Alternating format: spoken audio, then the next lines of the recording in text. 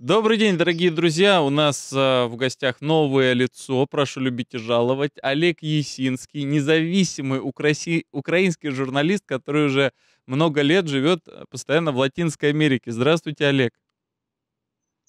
Здравствуйте, Павел. Спасибо большое за приглашение.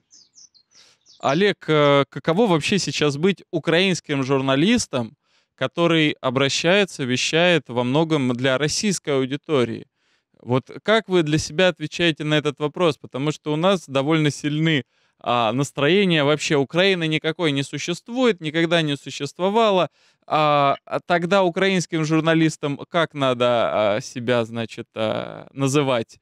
А, новоросские журналисты или а, бывшие, бывшие украинские журналисты? Как вот вы видите эту такую несостыковочку?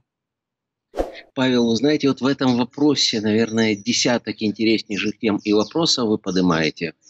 Эм, с одной стороны, первое, что мне приходит в голову, это то, что журналистика, международная журналистика, это вообще чуть ли не бывшая профессия, потому что в ходе последних событий журналистика как таковая уничтожена или почти уничтожена, журналистика превращена в конкурс фейков, или конкурс пропаганды, причем если раньше пропаганда строилась на каких-то идеях, когда они были, сейчас это чистый маркетинг, и это огромная проблема. Если говорить немножко более серьезно, я обращаюсь, я говорю не с российской, не с украинской, не с латиноамериканской аудиторией, я обращаюсь просто к обычным людям без какой бы то э, разницы по поводу их самоидентификации, происхождения и так далее. Мне здесь интересно подчеркивать не наши национальные особенности, различия или травмы, а то человеческое, которое в нас, несмотря ни на что, сейчас осталось.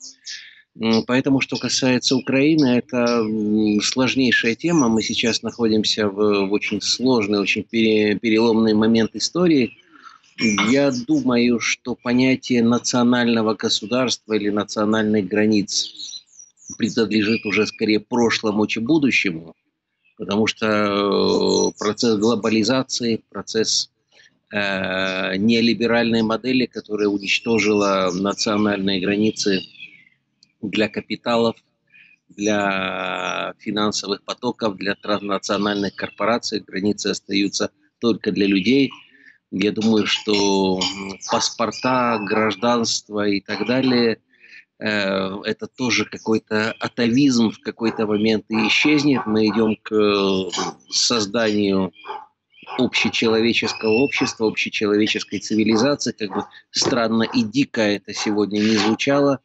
Э, тем не менее, сейчас в слово «Украина» каждый может вкладывать свое собственное понятие – потому что Украина, опять же, это э, в любом случае, это не то образование, которое выстраивалось украинской политической властью, точнее не ей, а ее кураторами, даже не последние 8 лет, а буквально с момента уничтожения Советского Союза.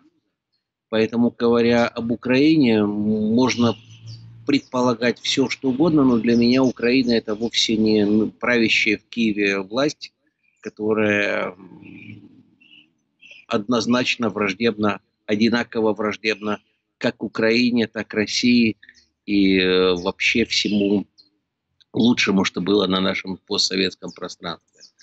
Поэтому, опять же, можно меня называть украинским журналистом, можно придумать какой-то новый, более современный термин – я думаю, что это не столь важно, интересна суть вещей, о которых мы можем сегодня говорить.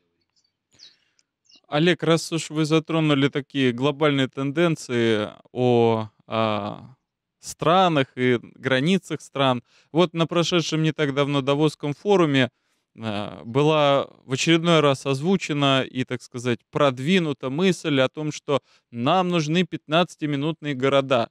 Это такой интересный а, способ организации жизни людей, чтобы они вообще никуда не выезжали. Вот у вас есть дом, и у вас в шаговой доступности, в 15-минутной доступности, максимум на велосипеде проехаться или на самокате, вот у вас школа, детский сад, поликлиника, больница, вот у вас а, рабочее место – и вы здесь, в этом закутке, там несколько гектар по площади, вы живете практически всю жизнь. Там пять раз за всю жизнь вы куда-то выбираетесь. Зато как экологично, не нужны никакие автомобили, не нужны никакие самолеты.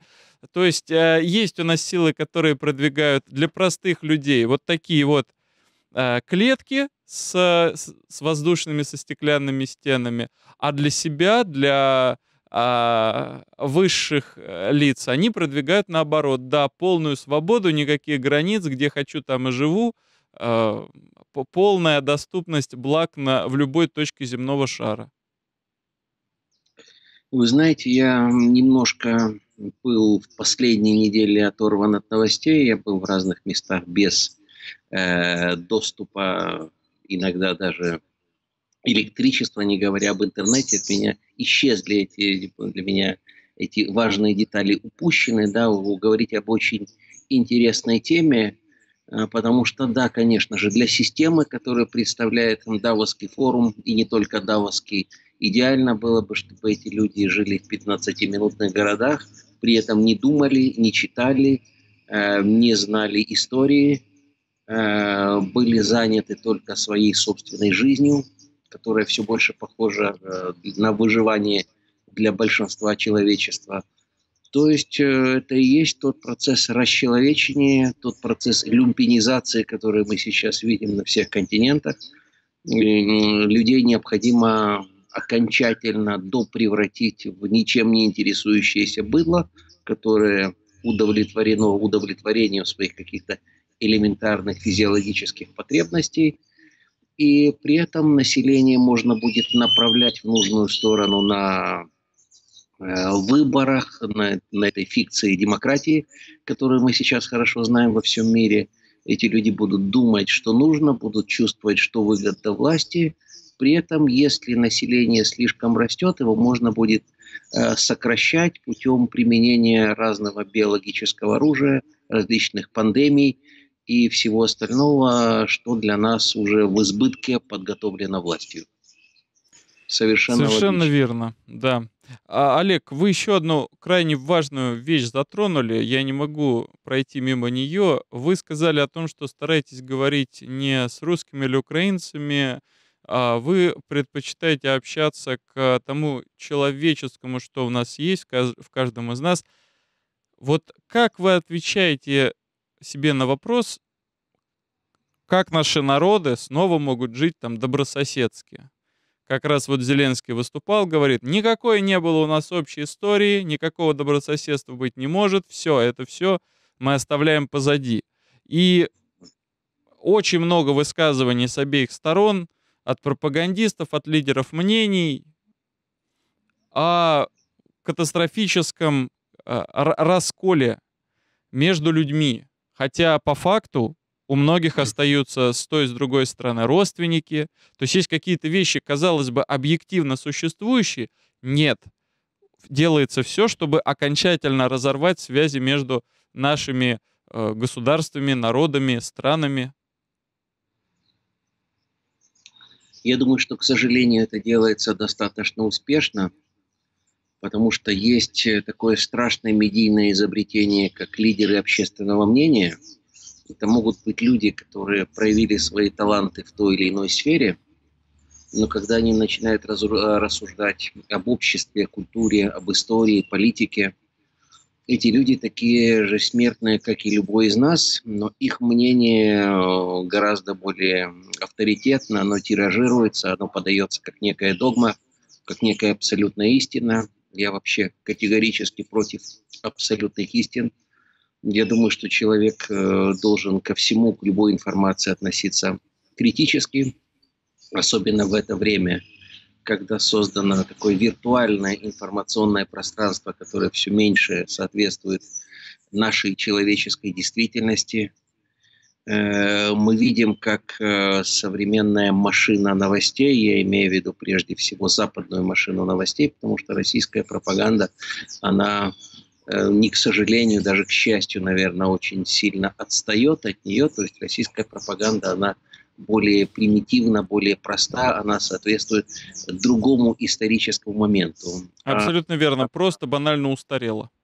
Да, да. А западная система массовой информации – это четко отточенный инструмент, над которым работают ведущие психологи мира, в которые вложено неограниченное количество ресурсов, на которые работают все вот эти мировые big data, вся информация, которая собирается о нас э, через социальные сети, через каждый наш вдох или вздох, через каждое наше движение. Они знают о нас практически все, поэтому они знают, что нам сказать, что нам показать и какой аргумент привести, чтобы убедить нас в реальности Э, очередного фейка, который подается как э, последняя, мисти, как последняя истина, истина последней инстанции о происходящем в мире.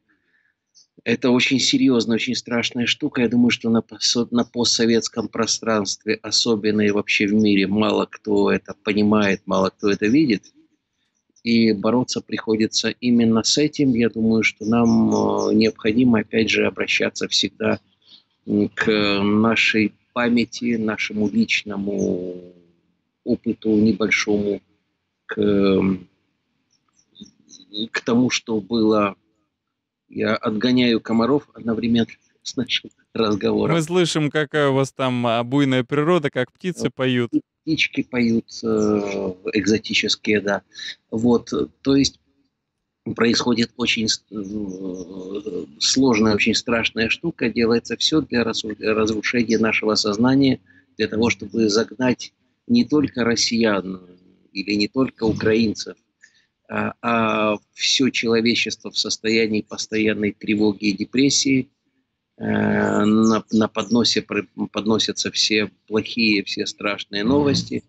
То есть нас необходимо держать в депрессии для того, чтобы управлять нами, потому что я думаю, что в нынешнем мире, опять же, не все так ужасно. Есть очень много организаций, движений, людей, которые это понимают, которые против этого борются, которые организовываются. Есть настоящая культура, которую невозможно уничтожить. И то, что ее не видно на экранах телевизоров, это не значит, что ничего этого не существует. Нам необходимо вот, э, сделать такую банальную вещь, как просто выключить телевизор. Говоря о телевизоре, я имею в виду отключиться от этих всех внешних шумов, которые нами управляют. Да, вы знаете, я делаю новостные обзоры ежедневные, и в том числе, конечно, сейчас у нас э, новостей тяжелых, сложных э, гораздо больше, но я обязательно добавляю какое-то число новостей позитивных. Многие люди их не замечают они прям пишут комментарии, ни одной хорошей новости. То есть они, у них отключается сама возможность чему-то порадоваться, в чем-то почувствовать уверенность. То есть они вошли вот в эту спираль страха, спираль а, напряжения, и вот они продолжают на ней ехать. Чисто в практическом значении, вот как вы считаете, люди, которые подверглись такого рода массовой долгосрочной обработке на Украине, в России – у которых, может быть, даже на уровне там э, психофизиологии что-то изменилось, да, клиническая депрессия, например. Вот что нам делать, чтобы вернуться к, не просто к нормальной жизни, чтобы мы стали жить лучше, чем там, в 2014 году? Э, у меня, конечно же, нет никаких магических рецептов. Я думаю, что пандемия, которая началась пару лет назад, она была первой разминкой, первой пробой нашего разобщения. То есть наша изоляция друг от друга, если и до этого молодежь благодаря гаджетам, благодаря социальным сетям, люди, многие люди разучились общаться. Да, я думаю, что каждый из нас видел э, массу сцен, когда семья или семейные пары или молодые люди приходят Э, попить кофе или приходят в ресторан, утыкаются в экраны, уже не в состоянии смотреть друг друга в глаза, общаться с друг с другом.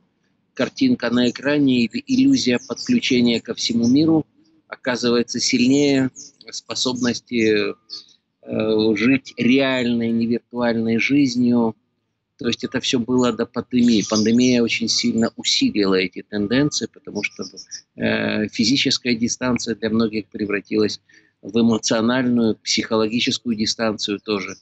И мне кажется, что пандемия и нынешняя война – это звенья одной и той же цепи, э, потому что то, что происходит сейчас, э, опять же, происходящее это не, не столько между Россией и Украиной, как говорят медиа, сколько между Россией и э, коллективным Западом, точнее НАТО, которая поставила перед собой задачу, точнее Штаты поставили перед НАТО задачи, потому что решает все правительство США. Уничтожение России, уничтожение России в данном виде, потому что Россия э, это место, где сохранилось больше всего рудиментов бывшего Советского Союза, то есть задача в уничтожении всего постсоветского пространства, потому что для того, чтобы система покончила с человечеством и перевела нас к эпохе трансгуманизма, необходимо уничтожить нашу историческую память, необходимо уничтожить наше понимание того, что другое человеческое общество тоже возможно.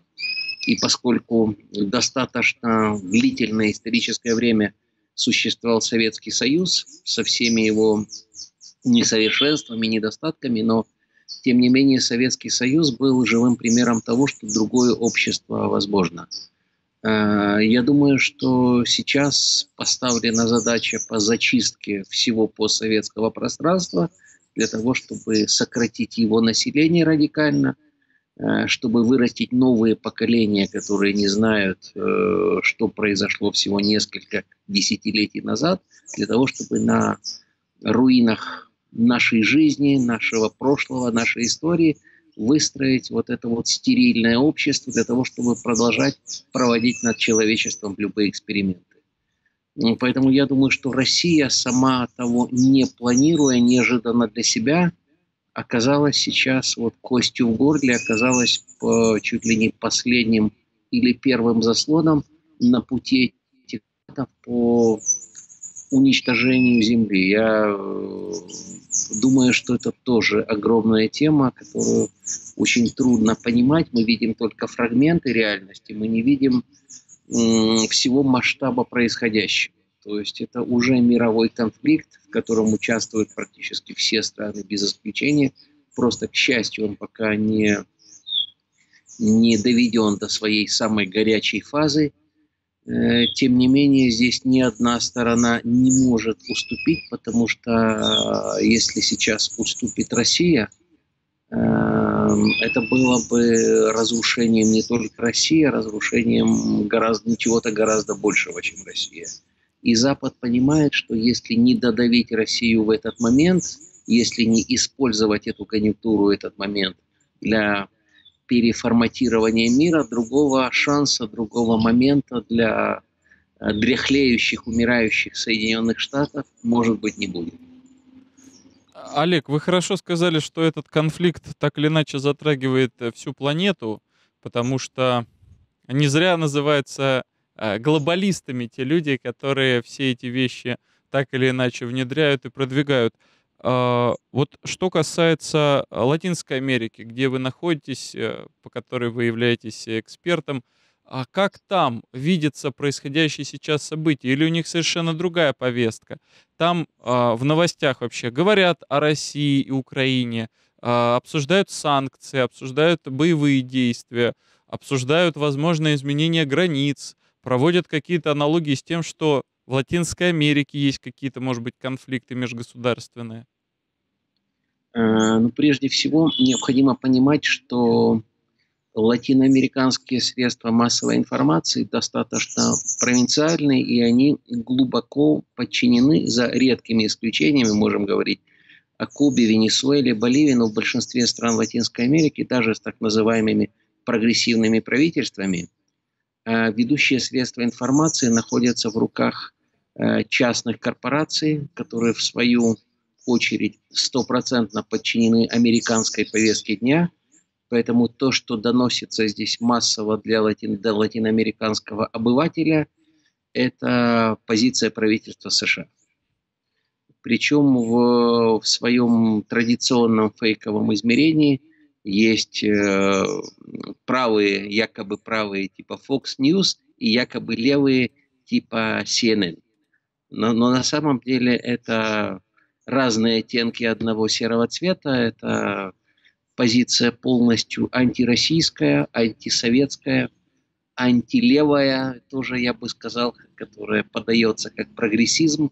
Говорить о прогрессизме новых политкорректных левых – это огромная больная тема отдельная, которую мы можем когда-нибудь тоже обсудить. У нас Ой. Э, в России левыми все еще называют э, приверженцев идей а, Маркса, Сталина, Ленина. А на Западе и во всем мире левыми сейчас называются в основном люди, которые поддерживают э, равноправие ЛГБТ, э, значит, э, и феминизм, экологизм, все э, вот эти вот э, специфические люди называются левыми, зачастую именно о них идет речь. Э, я думаю, что опять же мы перед лицом манипуляций, потому что я совершенно уверен, что любые э, настоящие левые, которые считают себя марксистами или последователями идей Ленина, они выступают и должны выступать против дискриминации, в защиту человеческих прав, в защиту экологии, в защиту меньшинств и так далее. Вопрос не в этом.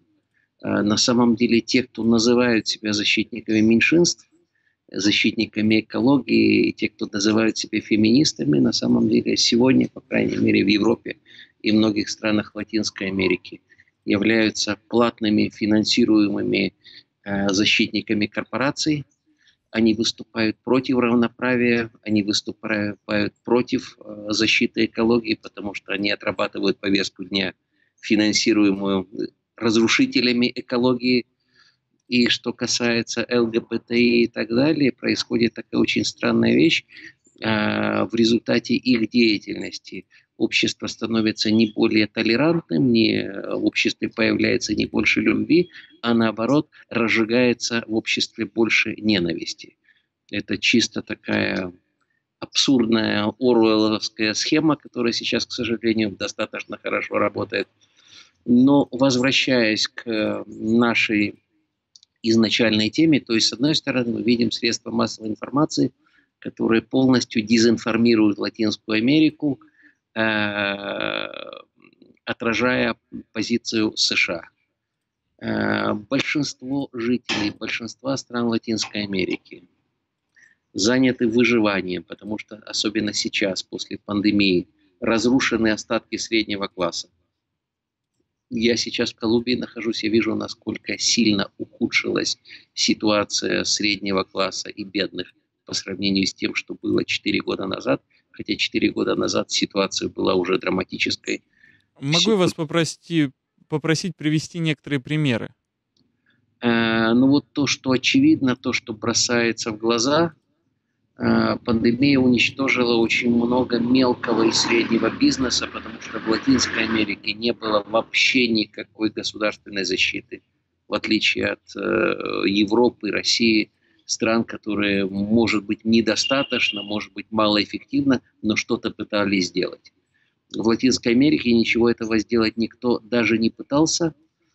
Поэтому, если приводить сферу туризма, например, в которой я много раньше работал, сейчас многие лучшие провайдеры туристических услуг, рестораны, бары, то есть то, что было не э, результатом каких-то больших э, сетей, или крупных иностранных капиталов, а то, что люди создавали своим трудом в течение десятилетий, это все разорилось, закрылось, это все невосстановимо.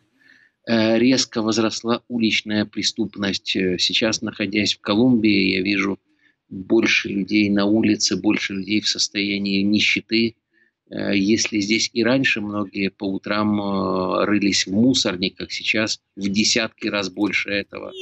То есть картина совершенно удручающая. Понятно, что когда люди заняты борьбой за выживание, когда нет работы, когда все заняты в неформальном секторе, э, анализ геополитической ситуации осложнен, тем более все последние десятилетия уничтожалась система государственного образования уровень образования сейчас резко упал.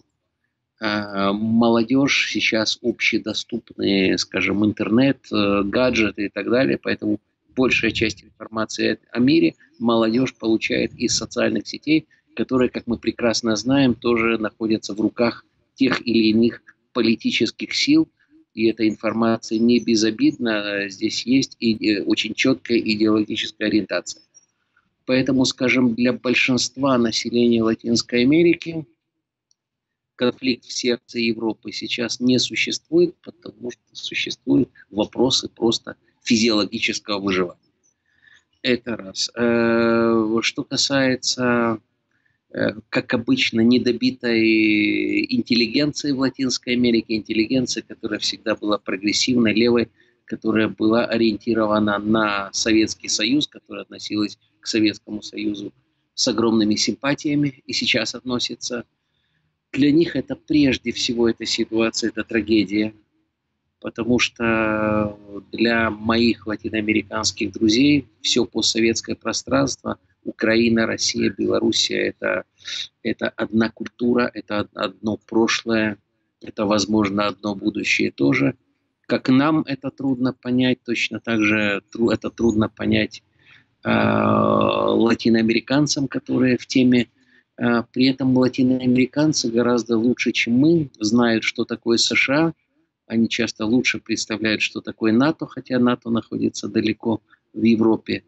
И э, совершенно понятно, понятны механизмы по подчинению э, слабых э, колониальных правительств правительству США.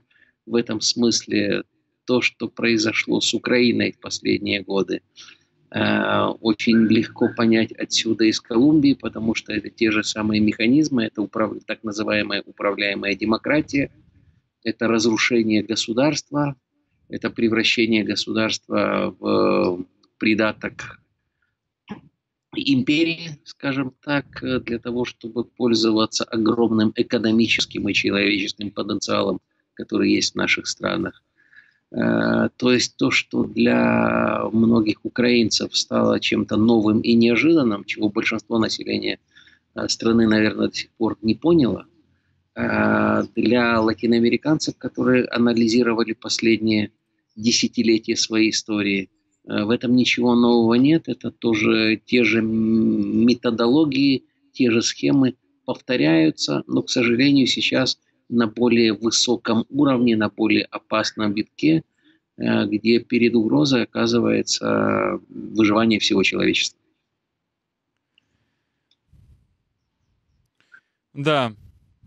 Не а, знаю, Олег, вы, вы... я внятно отвечаю, потому что это очень большая тема. Да. Эм, то есть есть большая культурная симпатия к России, вся латиноамериканская интеллигенция – воспитывалась на российской или на русской культуре, литературе, ее влияние в Латинской Америке огромно совершенно. Ну, поэтому, если никто здесь не радуется войне, и всем бы хотелось скорейшего прекращения э, происходящего братоубийства, в Латинской Америке люди тоже понимают, что НАТО не остановится само, что США сами не остановятся. Вот над нами пролетает вертолет уже, наверное, слышно его. Может быть, я опять что-то не то говорю здесь рядом. Нет, а как раз вашу речь э, тоже было отчетливо слышно. А, Олег, интеллигенция, она насколько многочисленна, о которой мы она, говорим? Она, она малочисленна, она малочисленна, и она тоже очень сильно изменилась в худшую сторону, потому что если традиционно латинская, латиноамериканская интеллигенция была левой, была с народом, сейчас э, те же средства массовой информации, которые разрушали, портили нашу советскую интеллигенцию, они сейчас проводят ту же работу и в Латинской Америке, и у многих людей, то есть человек с высшим образованием и интеллигенция, это тоже вещи совершенно разные. Э, у так называемого среднего класса в Латинской Америке постоянно создается иллюзия в том, что он заслуживает большего, может иметь больше и так далее.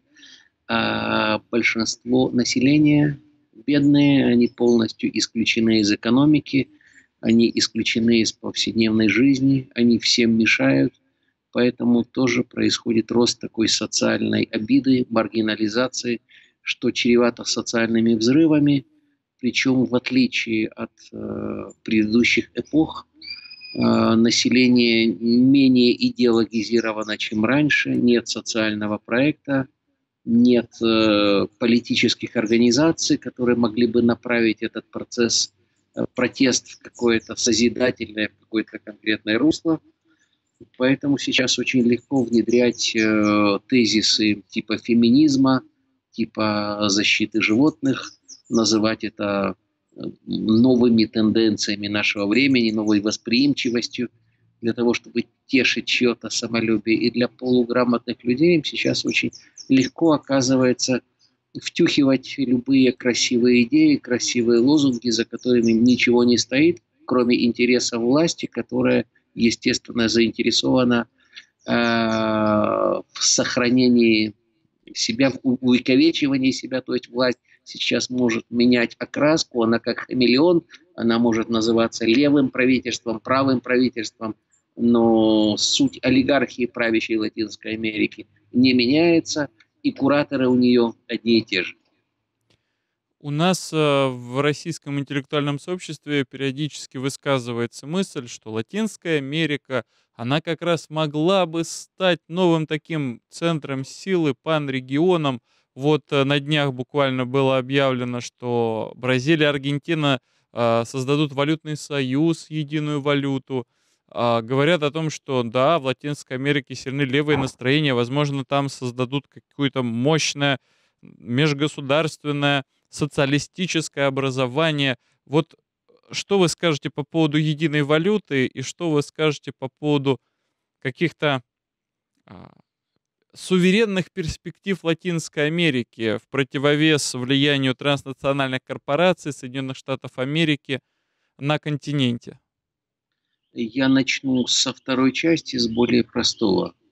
Я думаю, что несмотря на то, что эта идея создания латиноамериканской валюты, независимой от доллара или евро, она не нова, об этом очень много говорили еще при жизни Чавеса, то есть больше порядка 20 лет назад, 15 лет назад, э, когда Латинская Америка была ближе к этому, чем сегодня, несмотря на то, что эта идея очень симпатична, очень красива, очень рационально с точки зрения экономики.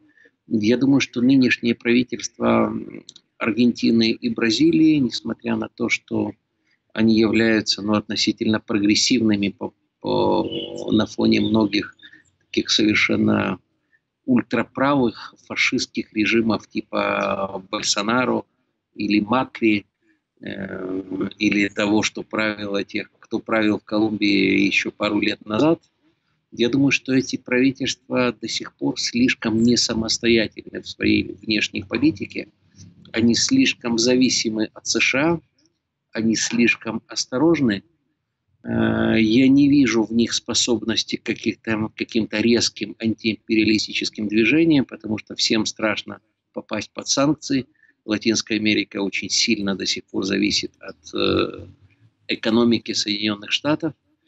И я думаю, что это, опять же, скорее красивые декларации или дополнительный повод для каких-то торгов, для договоренностей с Соединенными Штатами, чтобы получить какие-то преференции для того, чтобы пока не совершать этих шагов. Я думаю, что э, очень опасно выдавать желаемое за действительность. А, Олег, Я... вот э, теоретически, если в Соединенных Штатах Америки разразится некая гражданская война, у нас тоже об этом периодически говорят, что у них там в результате вот этих всех э, политических игр с Black Lives Matter и так далее э, определенное усугубляется расслоение и по национальному признаку, и по политическому, там, республиканцы-демократы, и, опять же, традиционалисты и а, левые либералы. Вот это вот все может в какой-то момент вылиться в такой масштабный социальный взрыв, противостояние, что государство американское не сможет заниматься какими-то внешними а, влияниями, оно будет э, сосредоточено года на три на себе. Вот в таком теоретическом э, контексте Латинская Америка могла бы э, вдруг осознать себя э, субъектом и начать какие-то суверенные реформы. Я думаю, что те, у кого сейчас в Латинской Америке власть, опять же, мы можем говорить о двух уровнях власти. С одной стороны, это традиционные олигархические семьи, их всего по несколько семей в таких странах, как Чили, Колумбия, Перу, которые решают практически все. Они изначально ориентированы на Соединенные Штаты. И в случае, в случае гражданского конфликта между э, воображаемым севером и югом, они бы поддержали рабовладельческий юг США. Э, опять же, я хочу уточнить, меня немножко, мне немножко резанул слух термин «левые либералы». На самом деле, э, так называемые левые либералы, они еще более правые, чем правые консерваторы. Ну, левые либералы, да, это имеется в виду как раз э, последователи глобальных вот этих всех новаций. Даже западная пресса называет их левыми для того, чтобы запутать обывателя, который думает, что быть левым – это быть э, э, сторонником трансгуманизма и так далее. Но, но у нас, кстати говоря, эта пропаганда как раз работает. У нас э, довольно много я подписан на каналы традиционалистов, у которых антиглобалистская повестка. Они говорят, вот, Болсонару нормальный мужик, он за традиционные семьи, а э, Сильва, он же, он левак. Ну, левак, значит, он за вот это вот все глобалистское, понимаете ли, а, действо. Ну вот, Павел, я думаю, что в этом одна из побед глобализма, несомненно, потому что она э, внушила нам вот эту вот структуру, да, я думаю, что совершенно искаженную, э, потому что здесь, в Латинской Америке, где существует какая-то семейная традиция и так далее, нет, нет особых противоречий, как на уровне городской культуры для молодежи, сексуальная ориентация кого-то вообще не является темой большой, и даже говорить об этом вслух много неприлично, это личное дело каждого. Другое дело искусственно раздувать эту тему и превращать это в фетиш. Э, я думаю, что выступать против глобализации, превращ... призывать всех вернуться к миру, которого не существует уже больше ста лет, это тоже опасная утопия. Одно дело уважать традиции, защищать традиции национальной культуры, несомненно, да. Выступать против вмешательства во внутренние дела других стран, несомненно, да. Опять же, пока эти государства не превращаются в угрозу для остальных. Но при этом мы не можем думать, что мы можем вернуться к миру столетней или двухсотлетней давности. Это тоже опасная утопия и иллюзия. Я думаю, что процесс глобализации человечества будет продолжаться, просто необходимо придать ему совершенно новое направление, другое содержание. То есть нам необходимо говорить не о трансгуманизме, а о гуманизме. Надо говорить не об общечеловеческих ценностях, а о человеческих ценностях.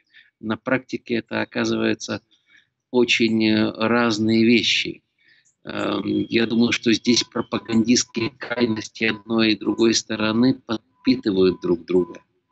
Но возвращаясь к вопросу по поводу Латинской Америки, о том, что Латинская Америка может стать каким-то горнилом, каким-то источником будущих, э, будущей трансформации э, к лучшему всей человеческой цивилизации – у меня нет э, надежд или иллюзий, которые могли быть еще 15-20 лет назад.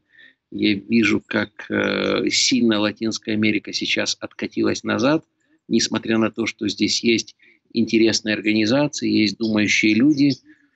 Но, к сожалению, огромная проблема в чем? В том, что очень сильно упал уровень образования. И, с другой стороны, манипуляция СМИ и социальными сетями, она вышла на совершенно другой уровень, и э, вот этот процесс, о котором мы говорили немножко раньше, люмпинизации общества, он продолжает наступать. Я, я не вижу сегодня реальной политической силы в Латинской Америке, которая могла бы успешно противостоять этому. Многие это понимают, многие пытаются. Мы сейчас беседовали со многими друзьями здесь, в Колумбии, вообще я в контакте с Латинской Америкой, уже есть понимание этого. Но, к сожалению, нет новых организаций, нет новых политических сил и движений, которые бы могли успешно с этим бороться. за исключением разве что индейских движений, которые лучше всех организованы, э, которые, с одной стороны, представляют какие-то традиционные ценности, настоящие традиционные ценности, лучшие. В это, в это же время это и социалистические ценности, если нам обязательно добавить какого-то изма в этот анализ. То есть это общинная культура индейцев, где, где личные интересы всегда были подчинены интересу коллектива, обществу, общины. И я думаю, что это очень важно, это существует, существует самоорганизация индейских и крестьянских общин в Мексике, Колумбии, в Перу, которая сейчас восстала против государственного переворота. А, Чего пресса молчит, как западная, так и российская. Я думаю, Расскажите что... нам вкратце, потому что об этом информации на самом деле мало, даже в Телеграме. Я думаю, что ситуация достаточно печальная. В Перу было избрано пару лет назад правительство Педро Кастильо, которое впервые за очень много лет этот президент был сельским учителем, он индеец, он представитель низов. Э, скажем, впервые президент, который не был представителем олигархии или международных финансовых организаций, он худо-бедно правил страной. Я думаю, что он не был готов к власти. Социальные силы Перу тоже не были готовы к победе допущено огромное количество грубейших ошибок. Он был далеко не блестящим президентом, это всем достаточно очевидно. И пользуясь его ошибками э, и ошибками его окружения, был, произошел парламентский переворот. Он был свергнут при поддержке Организации американских государств при прямом вмешательстве Госдепа США. К власти э, приведено правительство полностью подчиненное интересам Запада – это произошло незамечено, потому что вот такие парламентские перевороты в Латинской Америке незаметно происходили последние 10 лет. Это произошло в Гондурасе, это было в Парагвае, это было в Бразилии, это было в Боливии против правительства Эва Моралеса. То есть была серия таких переворотов, которые происходят на, на, на грани э, легально допустимого. На самом деле это свержение законных правительств но поскольку законные правительства имеют очень много врагов в среде так называемой интеллигенции, адвокатов и так далее, которые привыкли манипулировать реальностью, у которых в руках средства массовой информации и так далее, это выдается за легальную смену власти, но почему-то к власти? Приходят не какие-то демократические прогрессивные силы, а традиционные хозяева страны, при полной поддержке США, которые закрывают на это все руки. А вот. в чем цель? Упростить доступ к каким-то природным ресурсам? То есть там ну, появятся новые медные рудники? Перу это богатейшая, одна из богатейших стран э, не Латинской Америки, а мира. Важно сохранить контроль над этим всем. И очень важно не допустить прецедент прихода к власти никаких сил, которые не были опробированные Госдепом которые не представляли бы интересы хозяев э, нашего мира. То есть происходит переворот, президент оказывается арестован и в тюрьме, он сейчас в тюрьме в Перу. Вот. Начинаются индейские выступления по всей стране, они жестоко подавляются, пресса молчит, международные латиноамериканские правозащитные организации молчат, те, кто пресса молчит, пресса, которая всегда имела готовые первые страницы газет на протесты где-нибудь в Венесуэле, на Кубе, в России, Беларуси, в Иране. Вся эта пресса молчит. Э, в Перу происходят настоящие полицейские расправы, репрессии нарастают, сопротивление в ответ на это тоже нарастает. Несколько дней назад, позавчера, по-моему, Э, десятки, может быть, сотни тысяч индейцев, которые прибыли со всей страны в столицу Перу, в Лиму, они заняли, захватили Лиму. Э, пресса об этом молчит, ничего не происходит. Э, президент, якобы президент, на самом деле узурпатор власти. Ее зовут Дина Булуарте э, обращается к перуанскому конгрессу с просьбой принять в стране иностранные войска и иностранное оружие на случай подавления протестов. Пресса об этом тоже молчит. Никто об этом ничего не говорит. Я вчера читал этот документ. Ничего себе, пришел к власти на иностранной военной поддержке. Это, конечно, мощно. В Латинской Америке этого очень много было. Уровень популярности, уровень, а, точнее, непопулярности нынешнего путчистского правительства Перу составляет от 80 до 88 процентов населения, которое отвергает эту власть. Э, это сейчас происходит в Перу. Все об этом молчат. К сожалению, это стихийное движение, которое вряд ли увенчается каким-то радикальным изменением. Сейчас власть думает, у власти очень много ресурсов для того, чтобы как бы перенаправить энергию протестов, то есть достаточно найти любого более харизматичного персонажа, чем нынешняя президентша. Можно ей пожертвовать, ее можно даже посадить в тюрьму, провести над ней суд, посадить нескольких стрелочников – но власть э, удержится в одних и тех же руках, потому что, чтобы действительно изменить э, реальность к лучшему, необходима организация, необходима серьезная работа, необходим идеологический проект. В результате стихийных протестов, как мы это видим в разных странах мира, эти протесты бывают быстро, часто оседланы совершенно другими силами, и люди в своей бесконечной наивности думают, что свергнув одного, супостата или коррупционера, э, к власти могут прийти другие люди, которые будут за все хорошее против всего плохого. Это еще огромная, одна огромная проблема, которую нам, нам всем надо каким-то образом решить. Олег, я очень рад, что вы согласились на интервью, потому что у нас в России как раз э, часто кажется, что у нас какие-то уникальные проблемы, а, у нас какие-то уникальные решения. Вот э, мы слышим, что и в Латинской Америке все то же самое, и даже если происходит какая-то революция, э, выгодоприобретателями оказываются те же олигархи, транснациональные корпорации и коллективный единый там Запад, капитализм, э, если еще упрощать, да. А, второй момент. Многие сейчас из России сбежали, думали, ой, наверное, лучше будет жить там Турции, там в Израиле, в Европе. И, вдруг выясняется, что в Германии невозможно найти жилье с приличным интернетом. То есть, как бы казалось бы, где отсталая Россия, где там процветающая технологичная Германия. Ну и, конечно же, что касается э, работы и а, а, противостояния глобалистам, противостояния олигархам, я думаю, это очень такая важная тема, всегда всегда хочется думать, что, ну, наверное, вот в Латинской Америке-то они там сейчас такие хорошие ребята, они создадут макрорегион, и вот мы будем с ними дружить, все будет хорошо.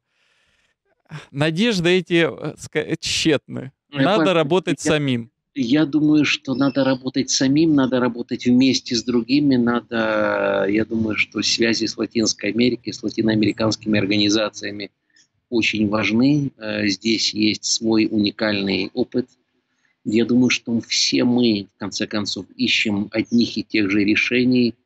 Э, все мы простые тех, люди. Все обычные люди, все, кто не является власть имущими, мы оказались в каком-то общей ситуации, э, в общем тупике или загоне. И я думаю, что кроме нас выхода никто не найдет, поэтому сейчас очень важно не изолироваться, не самоизолироваться, а наоборот больше общаться, задавать друг другу больше неудобных вопросов и вместе думать над их решением. Я думаю, что э, при отсутствии формул, к счастью, я не верю в легкие формулы, как и в инопланетян, которые прилетят и решат за нас все наши проблемы.